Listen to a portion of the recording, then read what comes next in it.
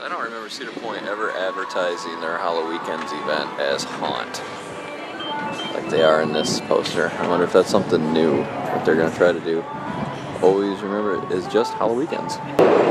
Whenever I come to Halloweekends, there's a certain order I do the haunts in because they just flow better. And the first haunt I usually try to hit up is this one, Hexed Haunt. This is over here by the gatekeeper. It's real easy to get to. The other thing Hexed Haunt, Hexed Haunt is, is it doubles now. During the day you can bring kids through with the lights on and it sounds like there's like little challenges and little puzzles they can do from room to room to progress through it. So I think they started that last year or the year before, and it looks like they've added a couple other haunts that are going to do something real similar to that. So in just two short weeks, Ocean Motion is going to be transformed into Ocean Potion, and they're going to dye all this water red. Or at least it was red last year. And I know Ocean Potion's coming back, so... I wonder if they could dye it a different color, like green. I don't think they want to dye it green, it already looks a little green. Eerie Estate's always the second haunted house that we hit up for Halloweekends. It's right back here by Planet Snoopy. So that's not too far from Hexed. There you go. It's a cool mansion theme. I think this is this other haunt that they're going to do something special for the kids during the day, similar to Hexed. I think they're doing that for three haunts. I'm pretty sure this is one of them. And it sounds like, uh, like I said, you're gonna be able to do puzzles and little challenges. They also used to have a dinner here that you could do, but I don't think they're doing that anymore. I think last year was the last year. This is a little entrance to Eerie Estate. It's where you come and wait in line. That, that skull is taking some damage. that poor Bucky. At first I thought his skull was on backwards. But no, it looks like people just have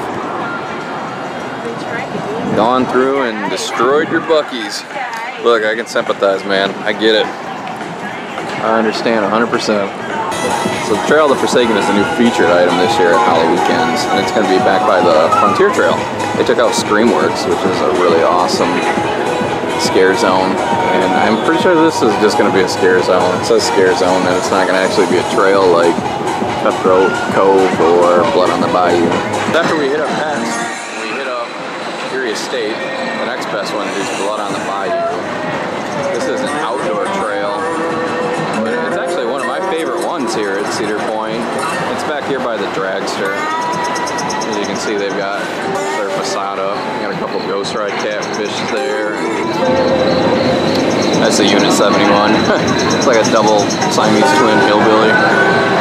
So not only do they got the boat out for Blood on the Bayou already, they're playing the music.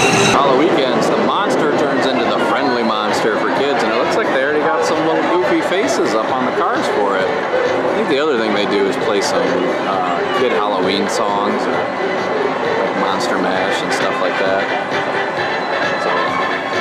I think that's awesome they do that with some of the rides, change them over. My kids love the monster, as do I.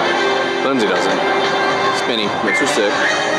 We're heading back into Frontier Town, which has three Halloween attractions back here. Three good ones, too. The first one is Frontier Town actually turns into Tombstone Territory, which is a cool Western themed uh, scare zone. But it's a pretty large one. It's pretty good. It's got, what does it have? It has like wagons and skeleton horses and coffins and horse-drawn hearses. It's themed just like the town back here, fits the theming. And it's a, it's a good one, I really like that one. After walking through Tombstone territory, you can go to the haunted house back here, Deprivation. This is located underneath the New Steel Vengeance, kind of like a blackout maze. It's, uh, it's not too bad though.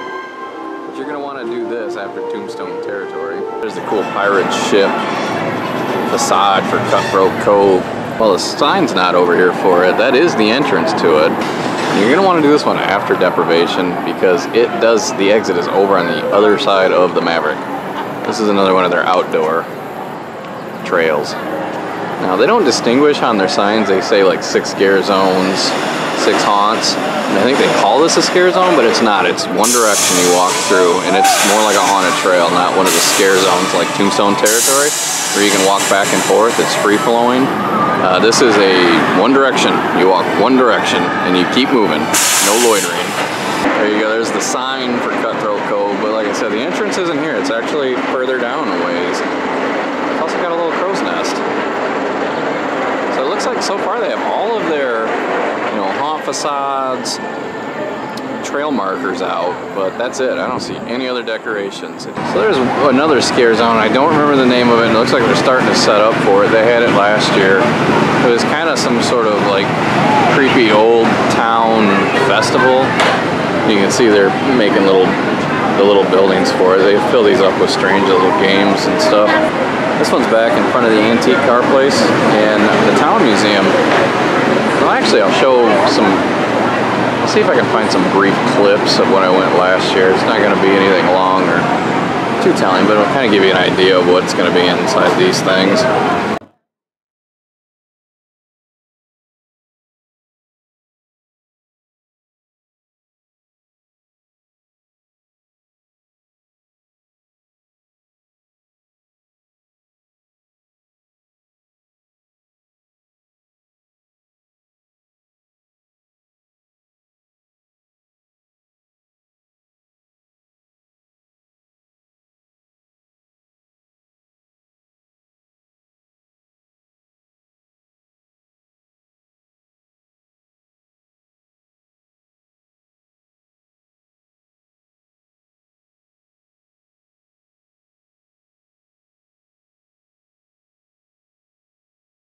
Clips there should give you an idea of what this is going to look like back here.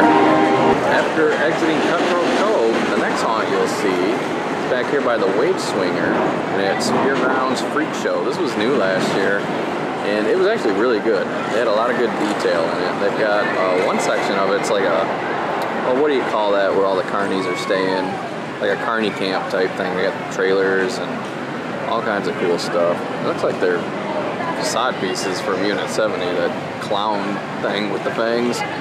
But yeah, this is a really good one, and it's definitely worth checking out. And those are the times that the haunts in the outdoor scare zones open for Halloween weekend. So on Fridays they don't open till 8. The park opens at 6. Stuff doesn't start till 8. And Saturdays it starts at 6. Sundays at 3, but I don't think they run the outdoor scare zones on Sundays. And I think the park closes at like 8 o'clock, so just be aware of that. Here on Frontier Trail, there's Cornstalkers. This is what you're going to want to hit up after uh, Pier Grounds. And I'm not sure why. It's a really good haunt. It's another outdoor one, a One Direction one. It's not a scare zone. But this line is always long. It's a long, long wait always to get into Cornstalkers. What they do is they, I think they drain Thunder Canyon and they put part of it in there. In fact, you know what? I'm going to get up over here up here on the observation deck, I can see part of Cornstalkers. They don't have the corn up yet, but and they don't have all the water out yet. but you can see, get a general idea of what it's going to look like. And the entire thing, they'll fill it all with corn. You won't see anything but corn. Corn, fog, and cow poop. That's what I smell right now because you exit through the barn and I can smell it from here. But this is a good one. You know, may not be heavy on props, but it's fun with the fog and the lights and the uh, actors blend in really well with the corn. It's good. Yeah, look, they're storing some of their fog out here. Looks like 455 gallon drums of fog. You know what? That's not fog. That's the fireproofing. So they must fireproof the corn. Let me give you an idea of what they use to make some of their stuff out here they just hang, I believe they hang scarecrows from all these poles. But I'm not sure you can get up here. You may be able to. I'm really not sure. I've never tried. Up on this observation deck when the haunt's running. That'd be cool if you could. I believe this is the exit for Cornstalkers. Or maybe it's right here. Maybe you come around here and exit. But you definitely walk through this barn at some point during the haunt. But what you're going to want to do is come out of Cornstalkers and then immediately turn to your right and go right into Slaughterhouse. see if I can get a shot of the building itself. I can't find a real good spot to get a clean shot of the building of Slaughterhouse, but you can kind of see part of it up over this fence.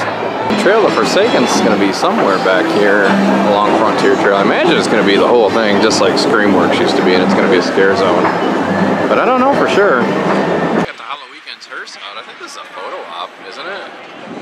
They take pictures in front of this usually. That's pretty cool. They got that out. Yeah, I'm surprised. I thought they'd have well, not a lot of decorations up, but I thought they'd have a little bit more out in the park already because they're they got to run in two weeks. This year for Halloween weekends, they're going to be transforming the Blue Streak into the Boo Streak. I don't know what they're going to do for the Boo Streak. I'm excited to see. Next to the Blue Streak, they have Magical House on Boo Hill. That's pretty cool. They got the facade up now. This is a kid-friendly haunt that they run, so there's no scares. There's, you know, spooky scenes, but not over-the-top spooky. They're kind of cheeky, spooky. And I do believe the kids get candy when they exit the haunt. At least they used to. So, like I said, this is great to bring your young children if they're afraid of haunts. I mean, my kids do all the scary haunts. They love them, even the littlest one. And they have since they were tiny, barely could walk. They love going through haunted houses. So they do those, but not all kids are like that. But this is a good one to take your kid to if he is, he or she is afraid of haunts. Oh, I got these little guys. I don't know what they are.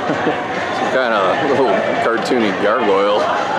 Finally, the last house I suggest you try going through is the Zombie High School.